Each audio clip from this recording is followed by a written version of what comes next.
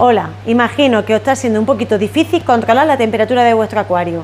Os voy a enseñar en este vídeo un ventilador de Boyu que es muy fácil de colocar y lo podemos poner tanto en un acuario con tapadera y sin tapadera y os lo voy a enseñar. Vamos a verlo dentro del vídeo.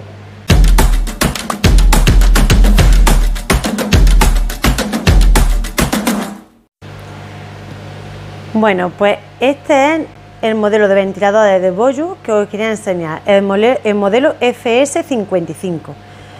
Fijaros, es de forma como si fuera de mochila. Pues va a salir el aire por la parte de aquí del filito ese, ¿vale? Con, el tornillito lo vamos a graduar al, grosor de nuestro acuario, de cristal o la tapadera. El ventilador que expulsa el aire caliente va a estar siempre en un lado fuera y para encender y apagar el botoncito. Conectado a la corriente y es bastante simple. Así que vamos a verlo cómo, lo vamos poniendo. Bien, bueno, pues aquí tengo un acuario con tapadera y aquí otro acuario sin tapadera. El de sin tapadera sabéis que va a ser más fácil. Normalmente se va a poner en uno de los lados, más o menos, en uno de los extremos, porque normalmente esta parte va a estar pegando a la pared y la otra lado va a estar para que lo veamos. Entonces se va a poner en un lado. Y con el tornillito que antes hemos hablado, que lo estamos viendo aquí, Simplemente vamos a ir apretando hasta que el ventilador se quede estable, no, vaya, no se mueva. Cuando ya esté, ya esté colocado, simplemente darle al botoncito para encender. Y fijaros qué bonito se queda, que no, no se queda feo en el acuario, ni estorba, ni nada. Bueno, y aquí tenemos el acuario con tapadera. La he desplazado la tapadera hacia un lado. Así que nosotros vamos a volver a colocar el ventilador en uno de los extremos. De la misma postura, lo colocamos y apretamos con el tornillito para que se quede bien puesto. Ahora, ¿qué problema tenemos? Que tenemos tapadera. Entonces, lo único que vamos a hacer es colocar la tapadera así.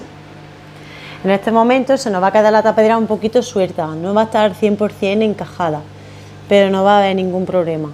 El ventilador va a hacer su efecto perfecto, ya que está colocado en un lateral y está expulsando el aire caliente por la parte de fuera del acuario, ¿vale? Y también nos va a venir bien porque por el sistema de evaporación, como lo hemos dejado una rejilla sin abierta, va a venir bien para para la evaporación, que no se condense dentro de la tapadera. Así que esta sería la siguiente manera de hacerlo, tanto con acuario con tapadera como sin tapadera. Ya sabéis que le doy mucha importancia a la temperatura. En mis redes constantemente os estoy recordando que vigiléis los termómetros. Es muy importante, parece que es una tontería, pero es muy importante que nuestros acuarios no lleguen a los 30 grados. Porque en cuanto lleguen a los 30 grados, como muchas veces os he dicho, tanto los peces como las plantas lo que van a ir es muriéndose. Por ello, tenemos que controlar mucho la temperatura. Siempre os recomiendo que compréis un ventilador el apropiado para vuestro acuario, que sabéis que todos los años lo vais a tener que utilizar. Espero que este tipo de vídeo os haya gustado y pueda orientar un poquito para cómo colocar este tipo de ventilador y si no lo conocíais, pues veáis, veáis que es muy cómodo y muy fácil de poner. Nos vemos en el próximo vídeo. Gracias.